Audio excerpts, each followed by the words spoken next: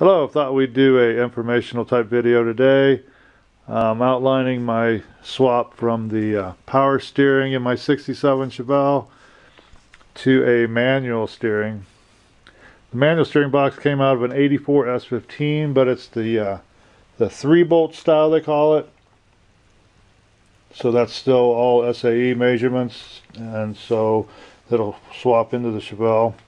It'll bolt to the frame like original.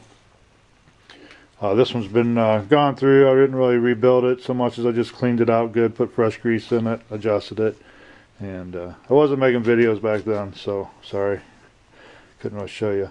But there's three major things you need to have the right size of. So on your input shaft, you have what they call the three quarter inch on the manual box. Now of course it's bigger on the power steering box the second size you're going to watch for is your output shafts. Bigger again on the power. You're looking at about a 1.2 inch diameter. Where on the manual box you're more like a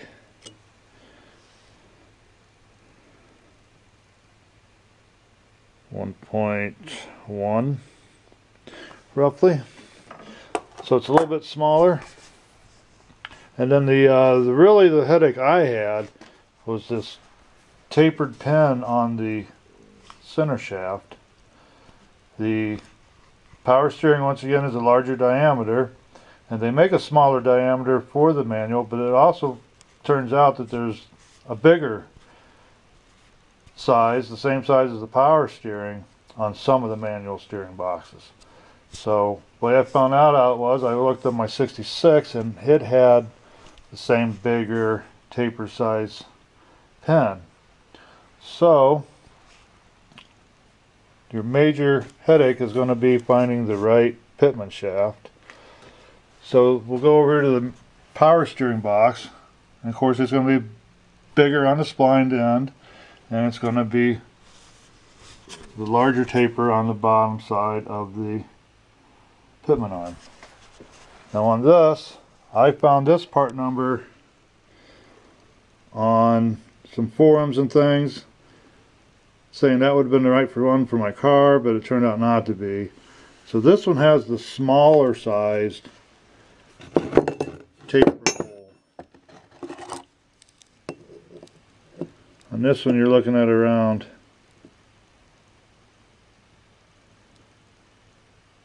0.55 on the bigger end. And then, so what I found out when I looked at 66 was that there was a large taper pin, but with a smaller spline for the box. So I got to looking and I found the uh, casting number. Now, of course, a casting number doesn't always mean a part number, but in this case, a lot of people on uh, you know certain online marketplace advertised by this number. So I have a 5693762A. Um, that would be correct. I know for a 66 Chevelle with a manual steering, it's got the small spline on this end, it's got the big taper end on this end, which is what you need. It's got the bigger taper on this side, which is what you need to properly fit on this thing. So I guess you could uh, use this information to swap from uh, either manual to power or power to manual. Um, there again, like I was saying earlier too, your input shaft is going to be different. So you'll have to change out your coupler. I use Lars. They seem to be a pretty good economical solution. So you'd want the coupler number 200 for the manual setup. Now if you're going from manual to power, you would have to change to coupler 201 which is really, like I say, it's going to be bigger here. But this side's going to be the same. They're a good reproduction. They're not perfect because they don't really have the tire treads in them. But it'll work. So And the only real special tools you'll need for the job is a Pitman puller. Uh, I just use my big crescent wrench. And you might need a bigger hammer than that, but mine wasn't really on there that good.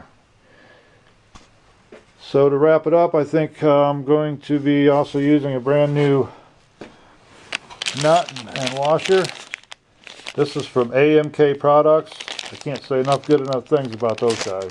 So if you're restoring something and you need hardware, which seems to always be missing when you buy parts from people, go to AMK Products and they'll fix you right up. So there you go. Let me know in the comments what you think. Oh, and I also forgot to add that uh, while this is a very nice part, and you can see who makes it, and there's other companies that make these, they don't advertise the sizes. They don't tell in their ads. I've looked at their manufacturer size and they don't show what size these are. So we'll just reiterate that. The small one measures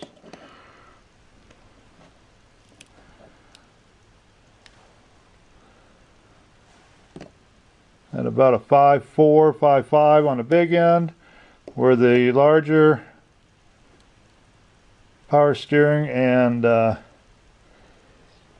the large manual steering box will be at uh, 6 point or 0.64 so you're looking at 0.64 versus 0.55 and it will just make it so much simpler because I looked for a center link with a smaller taper pin and could not find any references to what size it is. They refer to it as being the 7 8 bar or 11 16 so whatever. And so to me, they could make things a lot simpler and sell more parts if they would just put the actual sizes on their website. Thanks again for watching.